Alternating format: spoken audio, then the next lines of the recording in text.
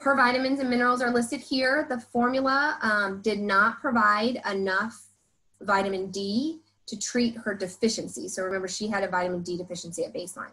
So we needed to give her a vitamin D supplement, and it also did not give her enough vitamin A. So we also wanted to give her some more vitamin A in a supplemental form. Now, when I do breastfeeding babies and formula, I only look at the vitamins and minerals from the formula. So the breast milk, yes, it's great. It has lots of vitamins and minerals in it, but because it's so variable, I don't actually include that in my vitamin assessment. So what we did with her is we put her on Trivisol, which is a liquid vitamin that has A, D, and C. It does have a small amount of carbohydrate, but the reason I chose it was because I didn't want to put her on a multivitamin because she didn't need all of that other stuff. She just needed A and D, and the C was just a little extra bonus. But it did not exceed her um, upper limit levels. And then we gave her a high dose vitamin D supplement. My last kiddo was Brinley, and Brinley is a little bit older, so I wanted to show you an example of the Keto V 3 to 1 in a little bit of an older kid. So she has a history of infantile spasms, um, but they have now evolved into more of a tonic seizure. She's on Keppra and Omphy, having 8 to 10 seizures a day. And at baseline, she was actually on Kate's Farm pediatric standard, um, and her weight was not very good. It was below the third percentile. So when I talked to mom, mom was adamant she wanted a plant-based product. She did not want any artificial sweeteners and she wanted no flavor. Um, we talked a lot about her volume intolerance and her poor growth. So unfortunately, uh, mom had to agree. We don't have at the time a plant-based formula available um, that was appropriate for Brinley. So we met in the middle. We did keto V three to one because it was not flavored and it didn't have sweeteners in it. And mom was accepting of that fact that it was not plant based, but she got some of her wants. And um, so this is her baseline. And so day one, we did a one to one ratio. We did have to increase her volume a little bit because she was on a 35 calorie per ounce formula here and I wanted to put her on a 30 cal formula to get her some more water and hydration. So this is an example of where I did change the schedule a bit. I went from five ounces to six ounces. She orally gets it first and any remainder she goes through a G2.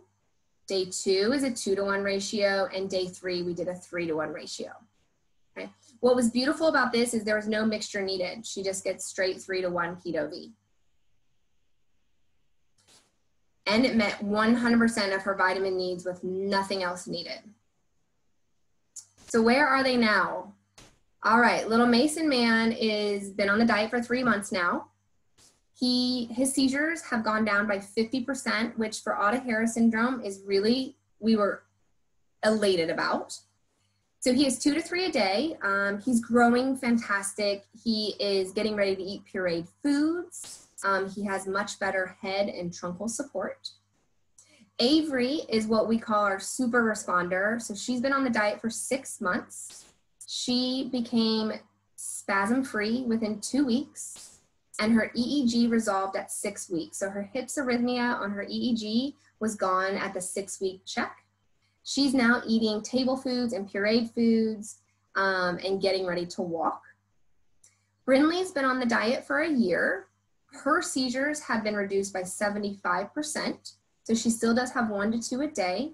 Her Keppra is weaned, but she continues on Onfi, and she is growing well, although we did have to do several calorie increases.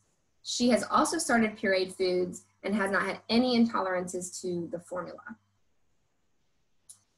My last slide is just my resources. I want you to have this if you're looking for more data and research on infants and young children um, so that you can have them as a reference. So thank you so much for giving me the opportunity to share my experiences with you. Um, and now I am going to pass it over to Dr. Amino.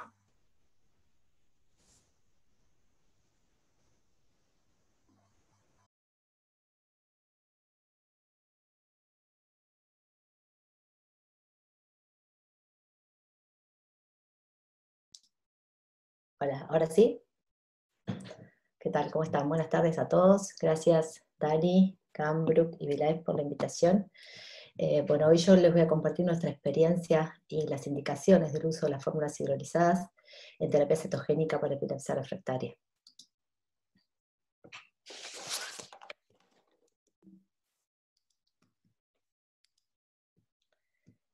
Estos son mis conflictos de interés. Bueno, y como les decía hoy,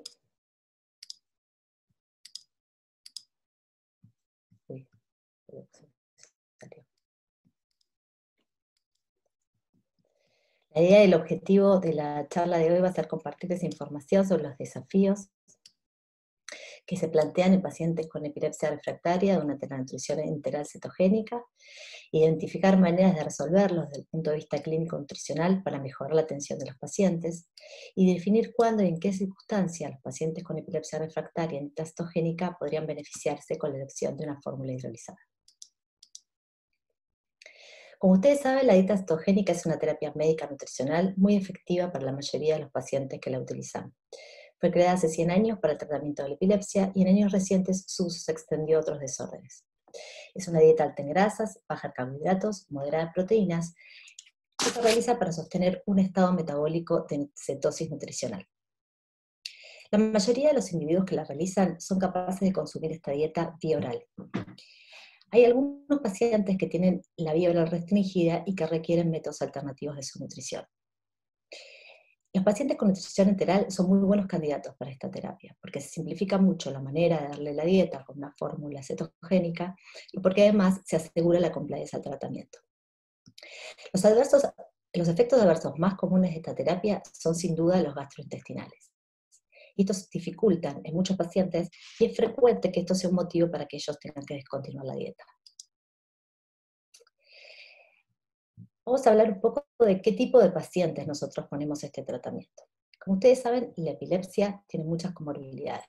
Las más frecuentes son los desórdenes gastrointestinales, sin lugar a dudas. También en pacientes más secuelados podemos ver muchas variables de malnutrición.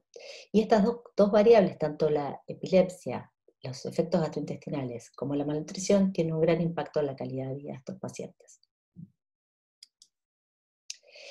Y esto no es porque sí. Digamos, el intestino y el cerebro están conectados por el eje intestino-cerebro, sí que es un sistema de comunicación bidireccional por el cual el cerebro se comunica con el intestino a través de nervios, del sistema simpático, el sistema parasimpático, y a través de la comunicación humoral mediante hormonas, neurotransmisores y citoquinas.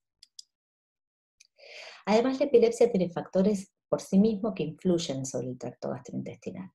Los pacientes con muchas convulsiones o con mucha espasticidad tienen aumento de la presión intraabdominal y esa presión intraabdominal aumentada muchas veces les provoca vómitos. Las epilepsias genéticas o las epilepsias que cursan con hipotonía tienen un bajo tono del tracto gastrointestinal en general, y esto limita la motilidad intestinal.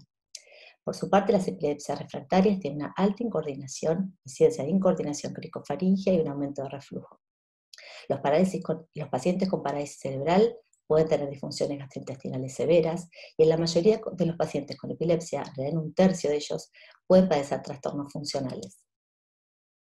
A su vez son pacientes que están medicados con fármacos epilépticos. Y los fármacos epilépticos en general tienen efectos adversos gastrointestinales.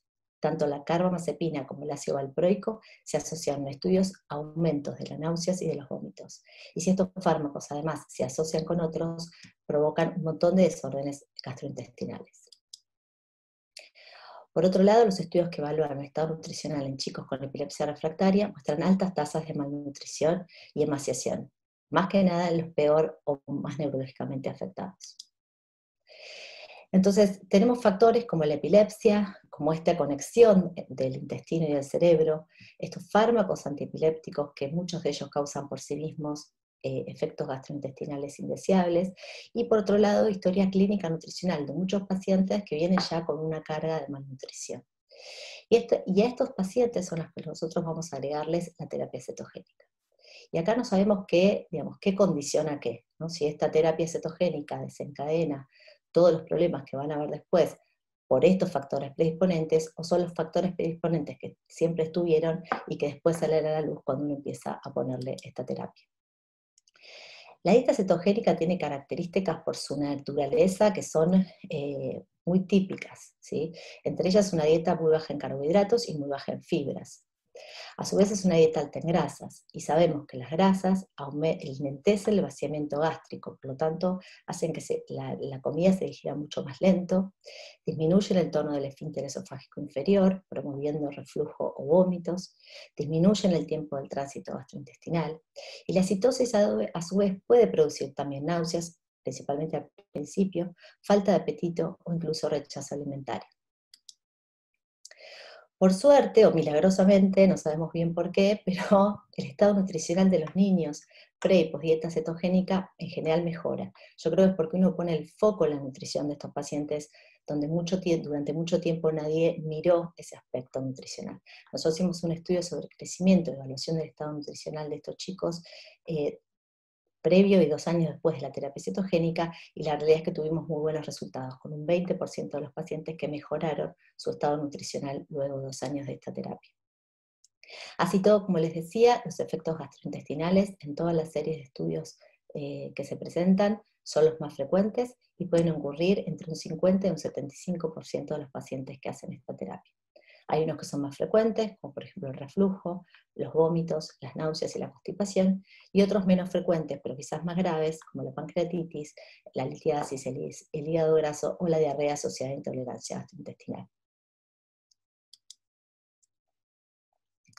Hay un estudio muy interesante del año 2009 de Jung y colaboradores que evaluaron cuál era la tolerancia que tenían los pacientes a la dieta.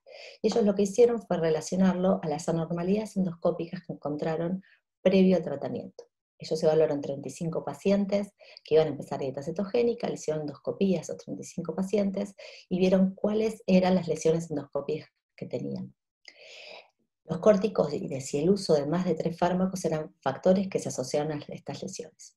Entonces lo que ellos hicieron fue tratar intensivamente durante las primeras cuatro semanas de tratamiento a estos pacientes con fármacos eh, para tratar todos los síntomas gastrointestinales y ellos lo que vieron fue que la tolerancia a la dieta mejoró casi en todos los pacientes.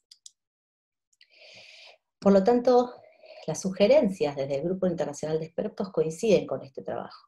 Lo que dicen es que predieta, si nosotros notamos que el paciente tiene síntomas gastrointestinales o hay algún tipo de alteración, hay que intervenir antes e intensivamente del inicio del tratamiento y en muchas veces, en muchos casos, también consultar a un gastroenterólogo. Como dijimos, la mayoría de estos efectos adversos son manejables, aunque hay un cierto porcentaje de los mismos que no lo son. Yo con tu trabajo de, bastante, de, hace bastante tiempo, de José y colaboradores, en pacientes pediátricos alimentados eh, con epilepsia refractaria alimentados por gastrostomía, en los cuales se midió la efectividad, la compliance y los efectos adversos de estos pacientes. Estos 30 y 12 pacientes eran, que donde se midió la efectividad del control de crisis, alimentados con una fórmula de proteína entera por gastrostomía, la verdad que la efectividad fue muy buena, fue excelente, les diría yo, 61% de los pacientes mejoraron las crisis y 68% a los 18 meses, en la mitad de los pacientes se pudieron reducir los fármacos antiepilépticos y tuvieron excelente compliance. Pero así todo un 25% de estos pacientes tuvieron que discontinuar la terapia por efectos secundarios a la dieta. Otro efecto adverso reportado, que no es tan frecuente también, pero que está reportado en varios estudios, es la hipoproteinemia. Puede llegar a ser a pasar hasta un 10% de los pacientes. Cuando la hipoproteinemia es severa, puede desarrollar una enteropatía perdedora de proteínas de distintas causas, cuya clínica es la diarrea, el edema y una hipoalbuminemia inexplicable luego de colocar la dieta. El primer reporte de, este efecto adverso fue en el 2002, que lo reportó Dimari y colaboradores, que ellos lo que evaluaron fue un paciente que tuvieron que discontinuar la dieta por una enteropatía de la proteína secundaria a una gastroenteritis alérgica. Y hace poco se publicaron otros dos casos como rara complicación de enteropatía de proteínas, una en una nenita de 9 años que estaba en un estatus epiléptico a la cual se le agregó una fórmula cetogénica de radio 3.1 con mejoría de las crisis y saliendo del estatus al día 19, pero que había descendido de peso y había empezado a tener hipoproteinemia sin proteinemia. La evaluación de la conoscopía mostró un edema de mucosa de color, por lo tanto tuvieron que descontinuar la dieta. El otro que es report es de un chiquito con síndrome de Down y síndrome de West de 16 meses, al cual le pusieron fórmula cetogénica también radio 3.1, y en la semana de inicio empieza a desarrollar diarrea, edema e hipoaluminemia severa, ¿sí? descendiendo de 3.8 a 1.8 a los 15 días. Por lo tanto, también tuvieron que discontinuar el tratamiento.